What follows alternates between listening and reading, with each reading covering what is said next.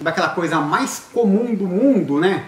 Havaiana estourar, né? Ó, aqui estourada, aqui estourada, aqui estourada, às vezes estoura na lateral também, né? Aí às vezes acaba te obrigando, isso aqui, né?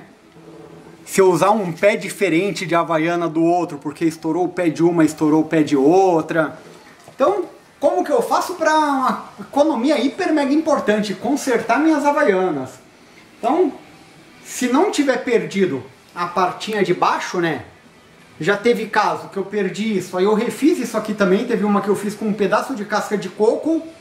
Aqui são havaianas refeitas, que estouraram de novo, mas pô, esse conserto dura alguns meses de uso, então...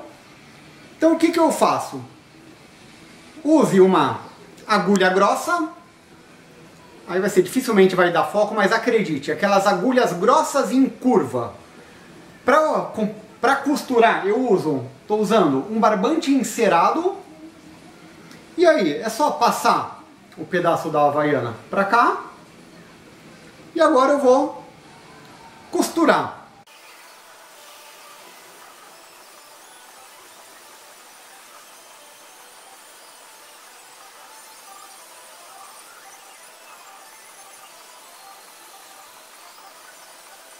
Tá aqui.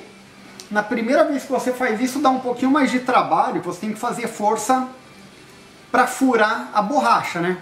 Mas, ver se dá para mostrar. Então, eu passei o barbante duplo, sei lá, na haste, passei por dentro do trequinho redondo que fica embaixo, e aqui eu tô com quatro pontas. Agora eu vou fazer o que? Vou ajustar bem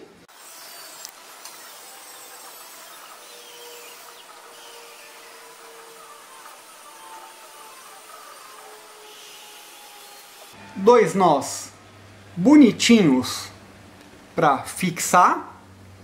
E agora, para esse nó não abrir, vou pingar uma gotinha de Super Bonder em cada um desses nós, depois cortar justinho. Vou fazer isso, espera aí, já volto. De volta com a Super Bonder. Então, pingo uma gotinha em cada nó. Eu presto atenção na hora que eu estou passando o barbante para cada nó sem um fio. Então, vai, com o tempo ele vai desgastar e vai estourar. Mas aqui vai, é um, acaba sendo um barbante individual, aqui outro, então se estoura um deles, ele não vai desmontar todo o conjunto. Então, passado a Super Bonder, corte Pode cortar justinho, que ela não vai deixar abrir o nó. E aí é só encaixar de volta no lugar. E assim que tiver sequinho, você pode parar de deixar de usar dois pés de chinelo diferente e ter aquele alívio de poder estar tá usando os dois pés com o chinelo igual, né? Sem andar torto. A Lorena dá risada. É isso aí.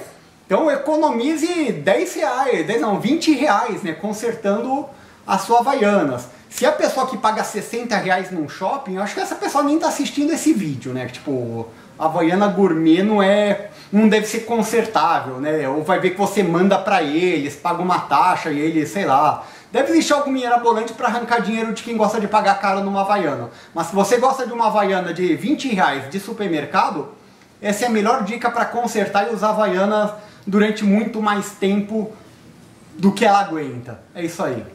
E vou para as próximas agora. Hoje ainda tem mais duas para consertar. Deve dar para imaginar qual que é a minha e qual que é da Ana Moreira.